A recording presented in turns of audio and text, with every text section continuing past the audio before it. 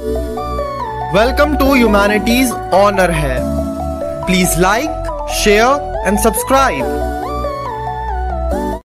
welcome back everybody I hope आप सब अपनी सेहत का ख्याल रख रहे हैं। आज हम इस वीडियो में पॉपुलेशन कॉम्पोजिशन को स्टडी करेंगे। अभी तक हमने जो कुछ भी पढ़ा है population density population distribution population growth और अब पॉपुलेशन कॉम्पोजिशन इन सभी में पॉपुलेशन आ रहा है। तो यहाँ से आप याद रख सकते हो that they are a part of population geography इस बुक में हम पॉपुलेशन कॉम्पोजिशन को चार पैरामीटर्स में स्टडी करेंगे। जिन्हें याद करने की ट्रिक है वर्ल्ड डब्ल्यू से हो जाएगा वर्किंग पॉपुलेशन कॉम्पोजिशन आर से दो होंगे। Number one religious composition and number two rural urban composition और एल से होगा लिंग्विस्टिक कॉम्पोजिशन अब हम इन चारों पैरामीटर्स को एक एक करके स्टडी करने वाले हैं। सबसे पहले हम रूरल अर्बन कॉम्पोजिशन के बारे में पढ़ते हैं। इसका मतलब है कि इंडिया में कितने लोग रूरल एरियाज़ में रहते हैं और कितने लोग अर्बन एरियाज़ में रहते हैं। प्लेस ऑफ़ रेजिडेंस के बेसिस पर हम एरियाज़ को दो कैटेगरी में डिवाइड कर सकते हैं। Rural areas and urban areas India में टोटल 68.8 परसेंट लोग रूरल एरियाज़ में रहते हैं। वेरी इजी टू लर्न देखो पहले आप 68 लिखो, उसके बाद पॉइंट लगाओ, और फिर इस वाले एट को वहाँ पर कॉपी कर दो, और आपको मिल जाएगा 68.8 परसेंट। अब सबसे पहले आप इस सिक्स को कॉपी कर कर नीचे लिखो, और फिर इस एट का हाफ़ कर दो तो आंसर आएगा फोर अब फोर आए तो चार बार ज़ीरो लगा दो। सो so, अब आपको लर्न हो गया है कि इंडिया में approximately six lakh forty thousand villages हैं। बिहार में सबसे ज़्यादा रूरल पॉपुलेशन रहती है। देखो बिहार के लास्ट में आर आ रहा है तो इससे आप याद रखना कि बिहार में सबसे ज़्यादा रूरल पॉपुलेशन रहती है। इंडिया की यूनियन टेरिटरीज में कम रूरल पॉपुलेशन है। लेकिन दादरा एंड नगर हवेली एक एक्सेप्शन है। दादरा एंड नगर हवेली एक ऐसी यूनियन टेरिटरी है जिसमें रूरल पॉपुलेशन ज़्यादा है। आप इसे ऐसे याद रख सकते हो कि इसकी स्पेलिंग में हवेली आ रहा है और हवेली तो रूरल एरियाज़ में होती हैं। इंडिया की अर्बन पॉपुलेशन लर्न करने के लिए सबसे पहले आप थ्री और वन लिखो। फिर आप एक डॉट लगा दो। उसके बाद आप यहाँ पर उल्टा लिख दो वन एंड थ्री और देखो थ्री सेकेंड नंबर पे आ रहा है। इसीलिए थ्री को हम टू से मल्टीप्लाई करेंगे और आंसर आएगा सिक्स सो so, इंडिया की टोटल अर्बन पॉपुलेशन है 31.16 परसेंट और इस सिक्स से आप याद रख सकते हो कि इंडिया में अप्रोक्सीमेटली 6000 सिटीज़ एंड टाउन्स हैं। गोवा ऐसा स्टेट है जिसमें सबसे ज़्यादा अर्बन पॉपुलेशन है। इसे आप ऐसे याद कर सकते हो कि सब कह रहे हैं go to urban areas go to urban areas so go से हो गया गोवा और दिल्ली एक ऐसी यूनियन टेरिटरी है जिसमें सबसे ज़्यादा अर्बन पॉपुलेशन है। अब नेक्स्ट हम स्टडी करेंगे लिंग्विस्टिक कॉम्पोजिशन को। लिंग्विस्टिक का मतलब होता है लैंग्वेज सो so, अब हम इंडिया की लैंग्वेजेस के बारे में पढ़ेंगे। देखो लिंग्विस्टिक में जी आ रहा है। तो इससे आप याद रखना कि इंडिया में फ़र्स्ट लिंग्विस्टिक सर्वे करवाया था ग्रायरसन ने। ये सर्वे 1903 में स्टार्ट हुआ था। अब देखो आप इस थ्री में ऐसे दो उल्टे सी बना दो, सो ये बन जाएगा एट। और ये सर्वे खत्म हुआ था 19 फिर हमने थ्री को एट बना दिया तो थ्री की प्लेस पे एट लिखो। और हमने टू सी ऐड करे थे तो टू लिख दो। इस सर्वे में हमें पता लगा कि इंडिया में 544 डायलेक्ट्स हैं। डायलेक्ट का मतलब होता है एक्सेंट। मतलब एक ही लैंग्वेज को बोलने के डिफरेंट डिफरेंट तरीके। इस सर्वे में नेक्स्ट चीज़ ये डिस्कवर करी गई कि इंडिया में 179 लैंग्वेजेस हैं और इन लैंग्वेजेस में से 22 लैंग्वेजेस को चुनकर स्केड्यूल्ड लैंग्वेज बना दिया गया। अब हम थोड़ा सा स्केड्यूल्ड लैंग्वेजेस के बारे में स्टडी करते हैं। इंडिया में सबसे ज़्यादा बोले जाने वाली स्केड्यूल्ड लैंग्वेज है हिंदी और सबसे कम बोले जाने वाली स्केड्यूल्ड लैंग्वेज है बॉम्ब्स लैंग्वेज बी से हो जाएगा बोडो एम से हो जाएगा मणिपुरी एस से हो जाएगा संस्कृत। सबको लगता है ये लैंग्वेज एक बॉम्ब है। अगर वो इस लैंग्वेज को इस्तेमाल करेंगे तो उनका गला कभी भी फट सकता है। सो इस तरह से आपको याद रहेगा कि बॉम्ब्स लैंग्वेज को सबसे कम लोग बोलते हैं। अब नेक्स्ट टॉपिक दिया गया है लिंग्विस्टिक क्लासिफिकेशन इंडिया में जितनी भी लैंग्वेजेस बोली जाती हैं उन्हें हम फोर लैंग्वेज फैमिलीज़ में क्लासिफाई कर सकते हैं। इंडिया की सबसे लार्ज लैंग्वेज फैमिली है इंडो यूरोपियन और जो लोग इंडो यूरोपियन लैंग्वेजेस को बोलते हैं, उन्हें कहा जाता है आर्यंस इंडिया में टोटल 73 परसेंट आर्यंस हैं। इंडिया में सेकेंड लार्जेस्ट लैंग्वेज फैमिली है द्रविडियन। और जो लोग इन द्रविडियन लैंग्वेजेस को बोलते हैं, उन्हें कहा जाता है ड्रविडा इंडिया में टोटल 20 परसेंट द्रविडा हैं। इंडिया की थर्ड लार्जेस्ट लैंग्वेज फैमिली है ऑस्ट्रिक जो लोग ऑस्ट्रिक लैंग्वेजेस को बोलते हैं, उन्हें कहा जाता है निषादा और इंडिया में वन परसेंट निषादा हैं। और इंडिया की फोर्थ लैंग्वेज फैमिली है सीनो तिब्बतन और जो लोग सीनो तिब्बतन लैंग्वेजेस को बोलते हैं, उन्हें कहा जाता है किराता इसे याद करने की ट्रिक है कि क्यारा की मूवीज़ को देखकर सब सीटी मारते हैं। सी से हो गया सीनो और टी से हो गया तिब्बतन और क्यारा से हो गया किराटा आपको ये डेटा याद नहीं करना है। आपको याद करना है कि इंडिया का लार्जेस्ट लैंग्वेज ग्रुप कौन सा है? फिर सेकंड नंबर पे कौन आता है? फिर थर्ड पे कौन? फोर्थ पे कौन? आपको ये भी याद रखना है कि आर्यंस बोलते हैं इंडो यूरोपियन किराता बोलते हैं सीनो तिब्बतन लैंग्वेज अब हम स्टडी करेंगे इंडिया के रिलीजियस कॉम्पोजिशन को। इंडिया में हिंदूज की मेजॉरिटी है।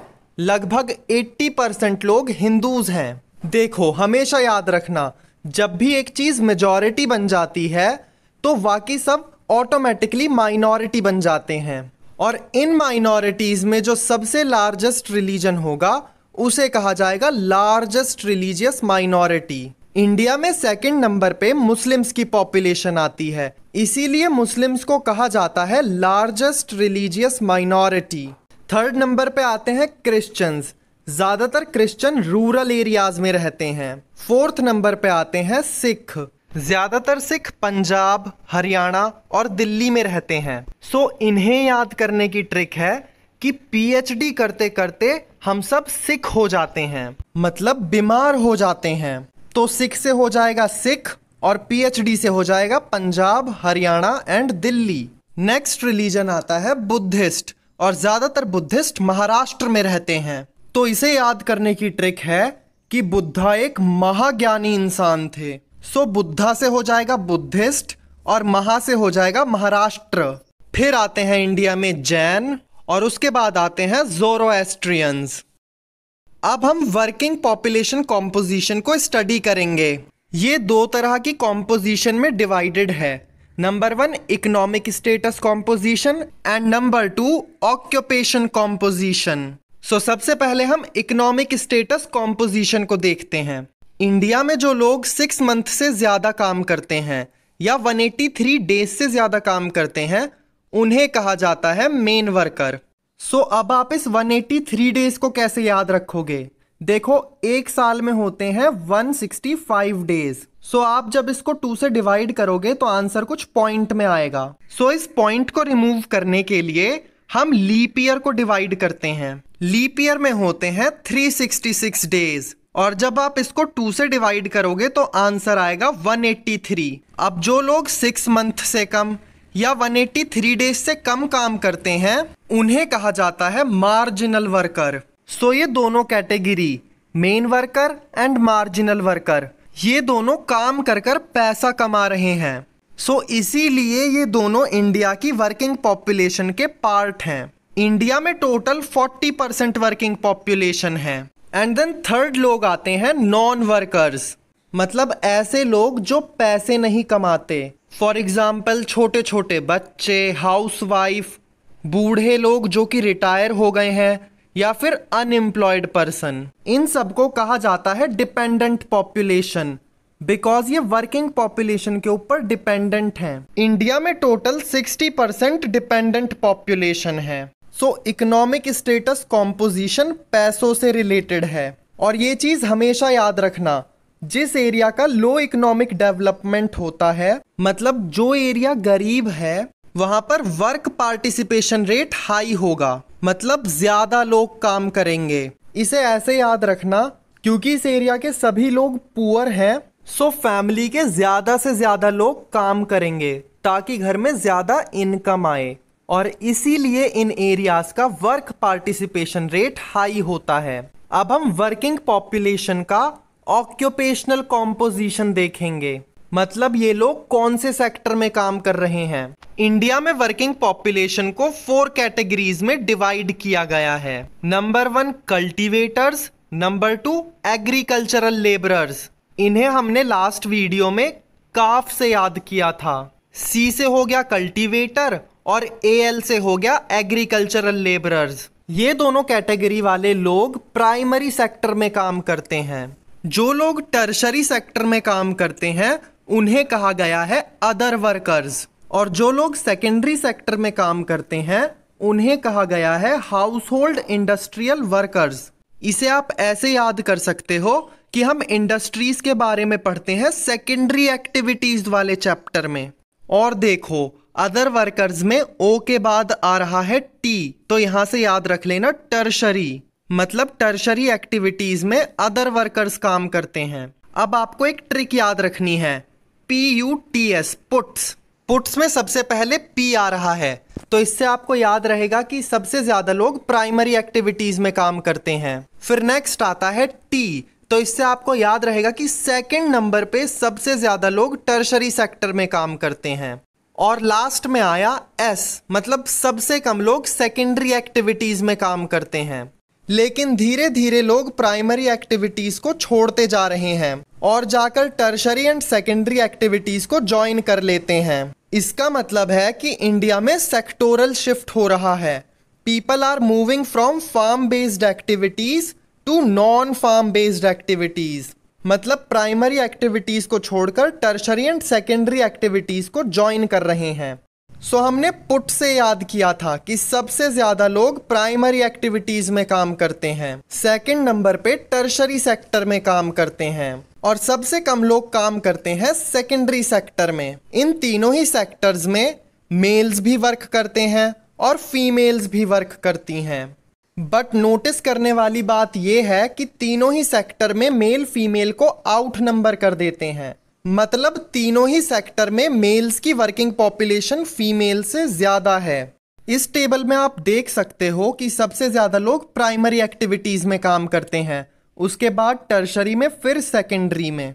नेक्स्ट आप ये नोटिस कर सकते हो कि मेल्स पॉपुलेशन तीनों ही कैटेगरी में फीमेल्स पॉपुलेशन से ज़्यादा है। सो so, इस टेबल से अब हम एक और कंक्लूजन निकालेंगे। लाइक like, सबसे ज़्यादा वर्किंग पॉपुलेशन है प्राइमरी मेल्स की। सेकंड नंबर पे आते हैं टर्शरी मेल्स उसके बाद सबसे ज़्यादा वर्किंग पॉपुलेशन है प्राइमरी फीमेल्स की। फिर आती हैं टर्शरी फीमेल्स फिफ्थ नंबर पे आते हैं सेकेंडरी मेल्स और सबसे कम वर्किंग पॉपुलेशन है सेकेंडरी फीमेल्स की। सो so, हमने क्या देखा? सबसे ज़्यादा वर्किंग पॉपुलेशन है प्राइमरी मेल्स की। उसके बाद टर्शरी मेल्स फिर प्राइमरी फीमेल्स उसके बाद टर्शरी फीमेल्स फिर उसके बाद सेकेंडरी मेल्स और सबसे लास्ट में आती हैं सेकेंडरी फीमेल्स हमने जो भी अभी पढ़ा है वो आपको इस फिगर से याद हो जाएगा। सो so, इसे आप एक दो बार बनाकर देख लेना। अब इस चैप्टर का सबसे लास्ट टॉपिक आ गया है। हम सब जानते हैं कि सोसाइटी बायोलॉजिकली डिवाइडेड है मेल्स फीमेल्स एंड ट्रांसजेंडर में। ये एक नेचुरल डिवीज़न है लेकिन हद तो तब हो जाती है जब सोसाइटी के चार लोग आकर इन्हें अलग अलग रोल्स असाइन करते हैं। जैसे मेल्स रो नहीं सकते फीमेल्स को घर से बाहर नहीं जाने देना चाहिए और ट्रांसजेंडर्स का अपना खुद का अलग समाज है। सो so, सोसाइटी में जेंडर डिस्क्रिमिनेशन स्टार्ट हो गया। यूएनडीपी कहता है if development is not engendered it is endangered मतलब जिस सोसाइटी में जेंडर डिस्क्रिमिनेशन होता है, हम उस सोसाइटी को एक डेवलप्ड सोसाइटी नहीं कह सकते। वर्ल्ड की हर एक सोसाइटी में आपको कुछ अजीब से रूल्स देखने को मिल जाएँगे। ऐसा ज़रूरी नहीं है कि हम उन रूल्स को फॉलो कर कर विक्टिम बने। अगर वो रूल जेंडर डिस्क्रिमिनेशन करता है तो हमें उसके खिलाफ आवाज़ उठानी चाहिए। जैसे कि मलाला यूसुफ जई ने उठाई थी। कल से इस इलाके की कोई भी लड़की स्कूल जाती नज़र नहीं आनी चाहिए। अगर कोई भी लड़की स्कूल जाती नज़र आई तो उसके साथ कुछ भी हो सकता है। असलाकुम मैं मलाला यूसुफ जई इंटरनेट के ज़रिए आप सबसे एक बात कहना चाहती हूँ।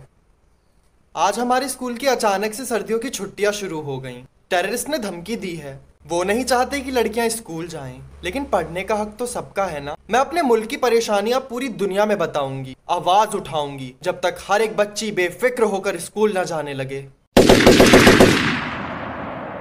आज की ताज़ा खबर 14 साल की मलाला यूसुफजई पर गोलियों से हमला किया गया।